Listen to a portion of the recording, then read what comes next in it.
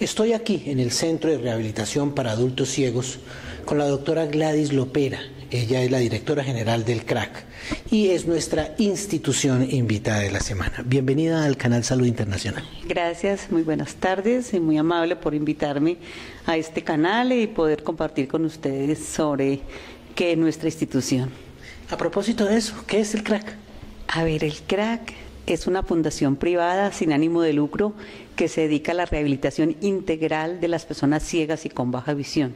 De pronto el nombre crack es un nombre sonoro y normalmente nos han confundido con, con el deporte, con los eh, famosos, nos han confundido también con, el, con la droga, con el crack pero es el Centro de Acción para Adultos Ciegos. Es una fundación que realmente lleva 52 años de servicio a la comunidad ciega y y baja visión del país y que realmente trabajamos por la autonomía, por la independencia, por la inclusión social de las personas en situación de discapacidad visual.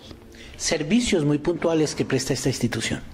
La institución tiene cinco servicios muy importantes y con los cuales realmente trabajamos. El primero y con el cual nació la entidad del año 1962 es la rehabilitación integral de las personas ciegas. Una persona cuando queda ciega necesita tener autonomía e independencia en sus desplazamientos, en su comunicación, en su vida diaria, en su desarrollo sensorial.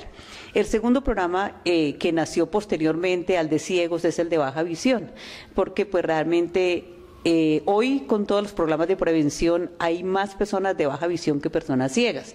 Se estima que realmente entre eh, el 10% de la población mundial se estima según la OPS que tiene algún tipo de limitación y de esos el 30% son personas con limitación visual. Si, si asimilamos eso a Colombia, estimamos que realmente hay más o menos hay un millón trescientas mil personas con discapacidad visual, pero de ese millón trescientas mil personas, el 70% son personas con baja visión.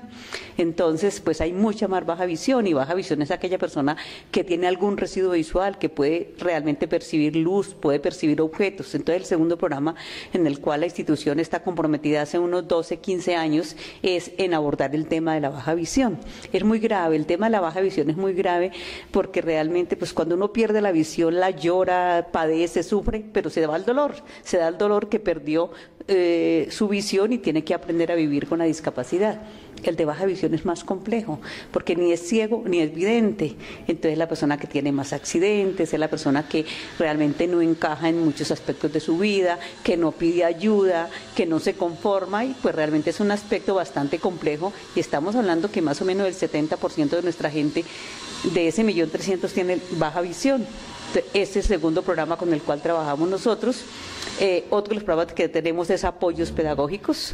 Eh, aportamos los niños desde cero edad, más o menos, hasta los 12, 14 años. Tenemos el programa de salud visual, que es el tema de prevención. Presentamos, hacemos eh, exámenes especializados, consulta externa en oftalmología, consulta externa en, optometría, y pues realmente trabajamos el tema de baja visión. Y también tenemos un proyecto de comunidad, un programa de comunidad, que son talleres que damos a los maestros, a la comunidad, a las universidades, con el fin de sensibilizar a la población en general de que esto es una causa real, nadie de esto se escapa. Eh, realmente la ceguera o la baja visión no tiene estrato social, ni político, ni religioso, ni nada. En cualquier momento de la vida podemos realmente estar abordando una discapacidad visual. Todo esto requiere recursos y ustedes son una organización no gubernamental. ¿Cómo hacen para haber hecho durante 50 o más tiempo, eh, años, este milagro de mantener una institución al servicio de los colombianos? A ver, buena administración, buena gestión. Indudablemente la institución tiene convenios con diferentes entidades del sector salud, toda la parte de las EPS. Tenemos algunas rentas propias que se generan de la buena administración de los terrenos que tenemos. Tenemos convenios también con el gobierno y la gente paga algo. Algunos, no, yo diría que el 1% de la población paga, eh, digamos, una, un una cuota de recuperación por la prestación de sus servicios, pero creo que realmente ha sido milagro que podamos administrar. Y pues nos, hemos dedicado también a hacer alianzas. En este momento la institución ha crecido bastante. Estamos ya en cinco regiones del país. Estamos en Medellín, eh, en el Hospital San Vicente de Paul. Tenemos una alianza con el Hospital San Vicente de Paul, porque es que el único centro grande, que es este, el CRAC, está situado aquí en la ciudad de Bogotá. Pero la gente de las regiones de afuera es muy difícil que vengan hasta Bogotá porque tienen problemas de transporte, no tienen dónde hospedarse, realmente los costos son muy altos, entonces hemos empezado a hacer un proceso de alianzas en las regionales. En Medellín encontramos un aliado excelente, muy fuerte, que es el San Vicente de Paul, donde a través de, del Departamento de Medicina Física y Rehabilitación ya llevamos desde el año 2007 un programa de rehabilitación de personas ciegas. Es lo mismo que hacemos acá, pero lo hacemos allá en Medellín. El hospital eh, coloca infraestructura, coloca recurso humano, aporta recurso humano, materiales. Nosotros aportamos recurso humano y nuestra metodología de rehabilitación. Igual gestión estamos en el Valle con el Hospital mm, Universitario del Valle y el Instituto para Niños Ciegos y Sordos de Cali y estamos tratando de cubrir la parte suroccidente del país. En Pasto estamos también trabajando en una alianza con el CEANI, que es el Centro Departamental de Habilitación del Niño con Discapacidad. Igual es el mismo proceso de alianzas, porque nosotros no tendríamos recursos para montar una sede o un crack en, cualquier, en todas las regiones del país. Estamos en Florencia, estamos llegando, como se dice, donde realmente hay que llegar. En Florencia estamos trabajando con una fundación que se llama Volver a Ver y ya estamos yendo a Florencia y a Doncello Caquetá y pienso que se ha prestado un buen servicio. Y otra alianza que tenemos muy fuerte es en Cartagena con otra fundación privada, la Fundación Rey, que trabaja otras discapacidades. Estas alianzas hemos venido haciéndolas en este orden de ideas para poder llegar a la población de las diferentes regiones y ahí sí todos ponemos, pone el departamento, pone las entidades privadas y la institución, pues somos fuertes en nuestra metodología y colocamos profesionales en esas regiones para que los, las personas ciegas y de baja visión no tengan que venir hasta la capital. Usted ha hablado de la metodología y ese es como el secreto que todos queremos saber. ¿En qué consiste ese éxito metodológico que hace el crack para convertirse en 50 años en la institución que más ha contribuido a aliviar las dificultades de las personas ciegas o con baja visión? Eh, a ver, el método de rehabilitación de las personas ciegas eh, está basado en los cinco componentes de la rehabilitación y el método de rehabilitación para personas con baja visión es un poquito diferente al de las personas ciegas, porque en el de baja visión hay que trabajar con un diagnóstico visual que lo tiene que hacer el oftalmólogo. O sea, hace parte de que el oftalmólogo em, certifique cuál es su patología y cuál es su pronóstico visual. Si la es su grado de visión y su pronóstico, porque si la persona pues va a volver a ver a través de una cirugía, pues yo pienso que ese no es nuestro objeto. Pero si la persona ya después de las cirugías, de todas las intervenciones, ya su pequeño residuo visual no va a recuperar, entonces ya sí es paciente nuestro, ya si es usuario nuestro. Pero lo más importante para permanecer en el tiempo es realmente la calidad con que se trabaja el equipo humano interinstitucional, el compromiso de, las, de los profesionales, de la familia. Nuestra metodología siempre es la triada. En, esto, en este caminar somos tres.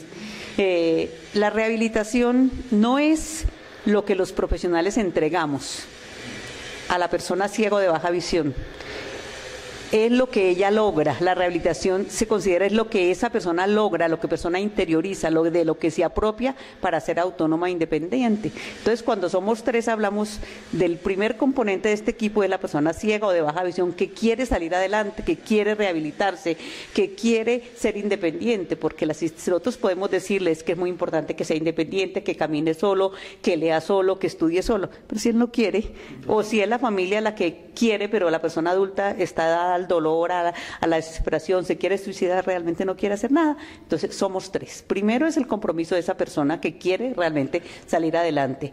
El segundo componente es su familia porque si la, familia, si la persona está desubicada, desorientada, no cuenta el apoyo de la familia, eh, quiere suicidarse, no quiere hacer nada en la vida, y nosotros somos, diría, los terceros porque somos unos facilitadores.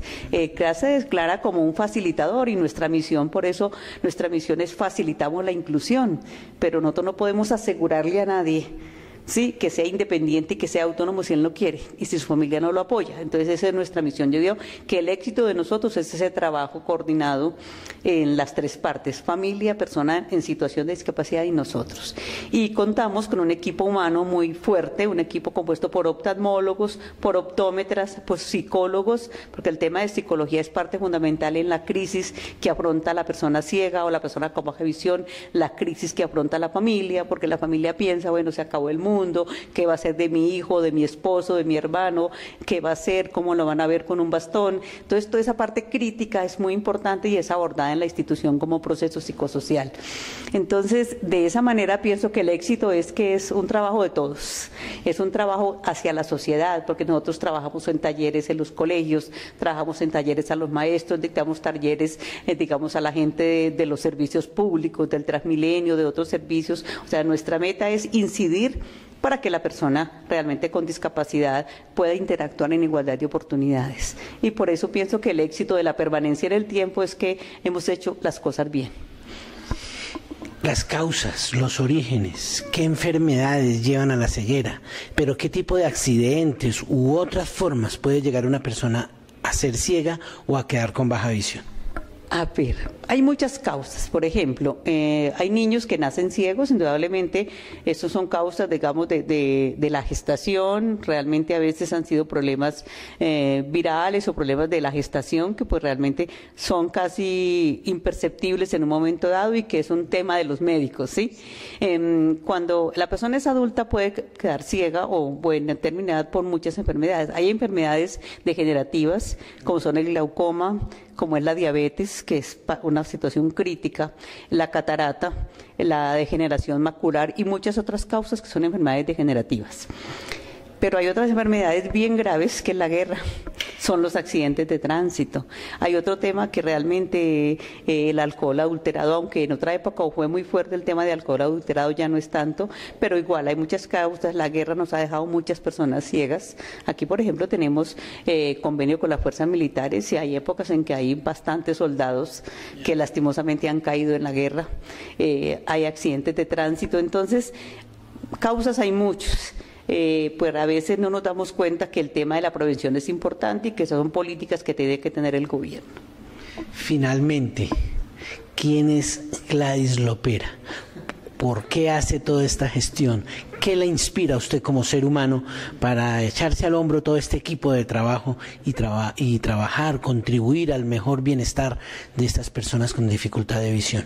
A ver, Gladys Lopera es un ser humano como cualquiera de nosotros que se casó con este trabajo, que le gusta este trabajo, que cada día ve la satisfacción de ver gente que llega en situaciones tan terribles, deprimentes, que quieren suicidarse, que no quieren hacer nada, en familias destruidas, y que con este equipo, porque no es Gladys López, es un equipo, es un equipo humano de profesionales que trabajan en esta institución. Aquí tenemos, como les decía, oftalmólogos, optómetras, psicólogos, trabajadoras sociales, terapeutas, educadores, todo un equipo humano. Pero ver cómo se llega a la persona aquí en ese estado de dolor, de depresión, de angustia, y verlos cómo salen con la frente en alto, verlos cómo salen caminando independientes, cómo progresan, cómo terminan su bachillerato muchos, cómo salen, llegan a la universidad, cómo terminan una carrera universitaria, cómo salen a trabajar, cómo sostienen sus familias. Entonces yo diría que no hay dinero que pague el ver esa satisfacción de esas personas. Eso es Gladys Lopera, una mujer comprometida con esta causa.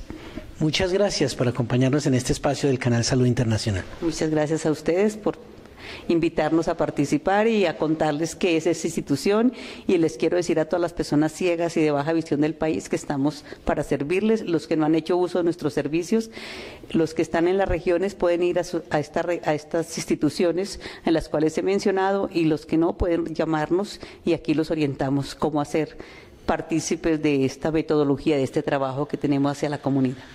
Ustedes están viendo aquí en este momento en pantalla los teléfonos para contactar eh, con Gladys Lopera y con el CRAC, el Centro de Rehabilitación para Adultos Ciegos. Instituciones y personas que hacen mejor al ser humano.